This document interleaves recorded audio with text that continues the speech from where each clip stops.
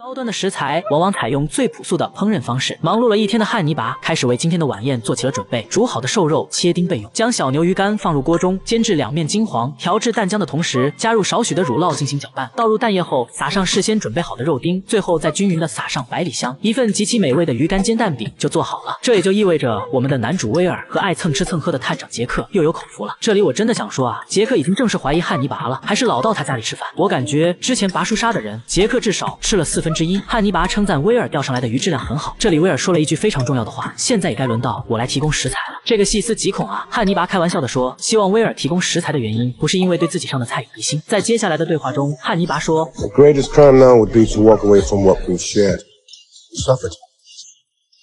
In many ways, we need each other. We are the only ones who know what this feels like. This fish is delicious, isn't it?” 而送走杰克和威尔后，汉尼拔又穿好了装备，似乎在等待着什么人。当镜头一转，八卦记者卷发妹子开车来找威尔，希望找点新闻。他敲了一会门，发现家里没人，就跑到威尔家的谷仓那里去撬锁。真不是我说啊，你偷看偷拍就算了，还撬人家的锁。卷发妹子真是在作死啊！他进去后，打开了威尔家的冰箱，仔细搜寻一番后，发现了一个人的下巴。他终于意识到了不对劲，回头一看，威尔就在门口。这一场景，大家是不是觉得似曾相识啊？当年女法医就是这么死的。晚上，威尔拿了一块肉给汉尼拔，汉尼拔好奇地问：“这是猪肉还是牛肉啊？”威尔说。这是一头苗条可口的母猪肉。汉尼拔说：“那我们一起来做一份烤肉吧。” make it together。随后两人吃起了这顿美餐。汉尼拔说：“这肉有一种特殊的味道，这头猪尝起来很害怕，而害怕的味道是酸的，这应该不是猪肉吧？”威尔这里也意味深长地说了一句：“现在我已经放弃了善与恶。”拔叔回答：“那你以后不要说我是恶的。”两人相视一笑，接着满意的吃起了大餐。镜头给到了威尔吃肉的画面，他竟然与汉尼拔合成了一张脸。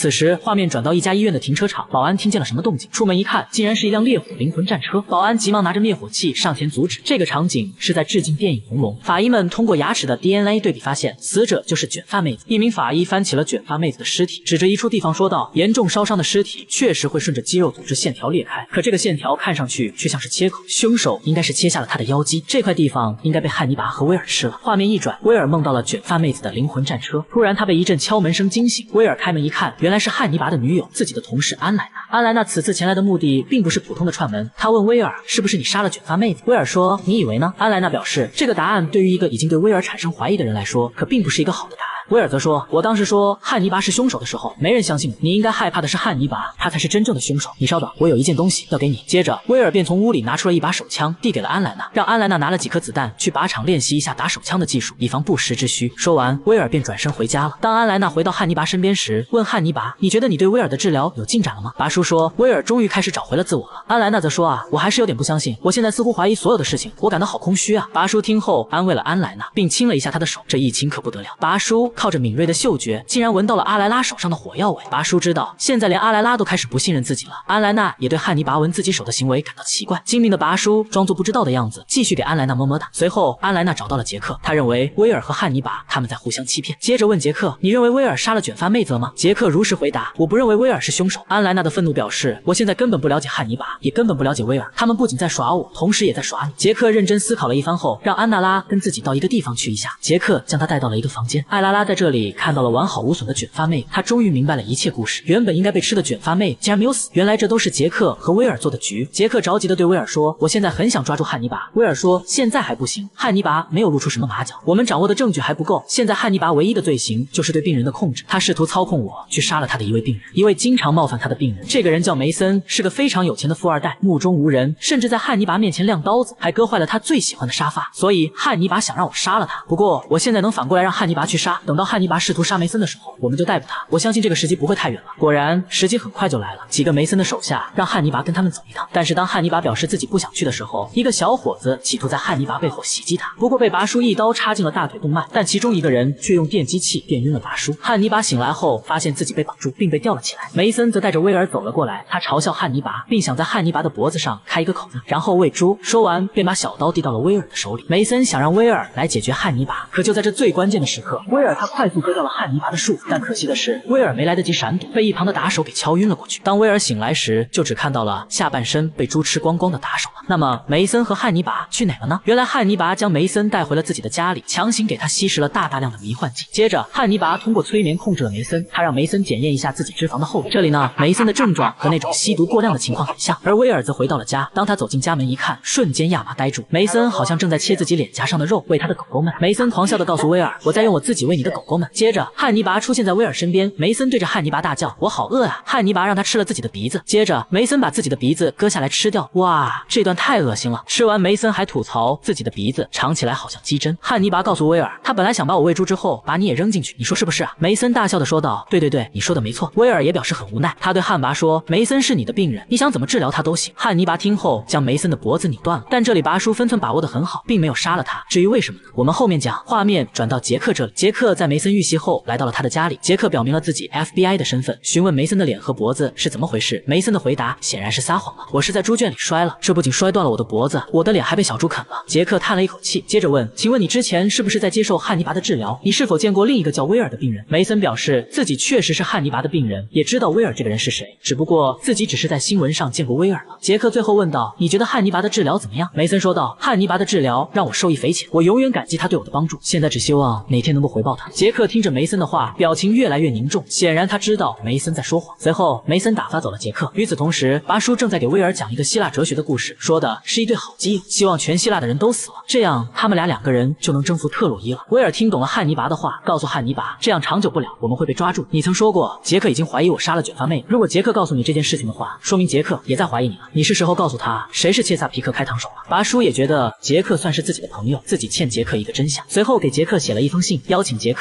共进晚餐。杰克知道这是场鸿门宴，他计划着在身上安装窃听器，固定汉尼拔杀人的证据。威尔则告诉杰克，汉尼拔会在厨房里就动手，因为这样准备晚餐更方便。杰克说了一句非常正确的话：现在汉尼拔认为你是他那边的人，而我认为你是我这边的人。那你现在到底是哪边的人？接着，哈利拔和杰克两人的镜头重合并一起说道。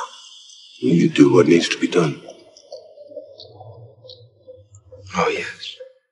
随后，威尔来到汉尼拔这里，帮助汉尼拔销毁了一些笔记。汉尼拔对此解释是：如果我留下笔记，FBI 就会窥探我病人的隐私，我可不希望他们这么做。就在两人烧笔记的时候，拔叔通过自己敏锐的嗅觉，在威尔身上闻到了卷发妹子的味道。他意识到威尔有些不对劲。这里我就不得不说了，拔叔啊，别人开透视挂也没你这么强的。很快，杰克只身前往汉尼拔家参加这场鸿门宴，他心里也知道自己只有这么一次机会。到了汉尼拔家里，杰克非常感谢汉尼拔和自己的友谊，说着，杰克便开始掏枪。这一段画面和上集开头头是一模一样。身为 FBI 的高级探员的杰克，格斗技术更胜一筹。就当杰克以为制服汉尼拔的时候，拔叔抄起了旁边的玻璃，一下扎进了杰克的脖子里。受伤的杰克只得逃到一个房间里。可他们之间的搏斗被屋外的安莱娜看到了。他走到厨房，看见正在撞门的拔叔。拔叔看到安莱娜，丝毫没有慌张。看在女友的份上，拔叔给了安莱娜一个逃跑的机会。他让安莱娜还是继续当个不痴情的傻子比较好。安娜娜就不愿意了，扣下了扳机，但是发现并没有子弹。拔叔也很无奈，他告诉安莱娜，其实我早就取出了你手枪里的子弹。安莱娜惊慌的往楼上跑。他走到一个房间后，却听到身后似乎有什么脚步声，转身一看，惊呆了。一直让我们以为已经死去的阿比盖尔从黑暗中走了出来，一把将安莱娜推下。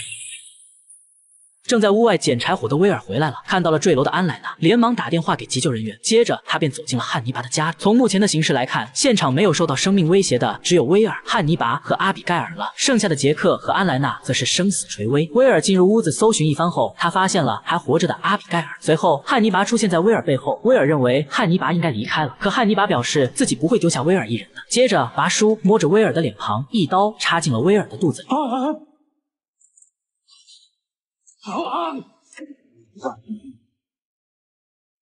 他深情地抱住威尔说：“你知道吗？我原本想给你一个惊喜的，但是你先给了我一个惊喜。你不是想夺走我的生命，是想夺走我的自由。我让你了解我，认清我，我把你当做我最好的朋友，给你准备了一份礼物，而你却不想要。你以为你能像我改变你一样来改变我吗？”威尔仿佛知道汉尼拔要干什么了。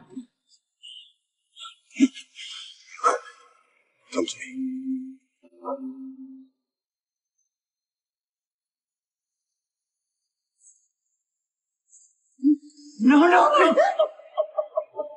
拔叔当着威尔的面杀掉了阿比盖尔，屋子的人死的死，伤的伤。拔叔离开了这。杰克、威尔曾经都以为能阻止汉尼拔，但是他们都错。拔叔是一个无情的人，同时也是一个有情有义的人。他能面不改色的残害自己的朋友，也会在内心里忍痛惋惜这段友谊。就像安莱娜拿枪指着汉尼拔的时候，汉尼拔也给安莱娜一个活下去的机会。作为这场游戏的胜利者，这一切都是汉尼拔想要的结果吗？杰克、安莱娜、威尔和阿比盖尔四人最后都奄奄一息，等待他们的结局会如何呢？汉尼拔会继续逍遥法外吗？关注郭说，我们下集接着说。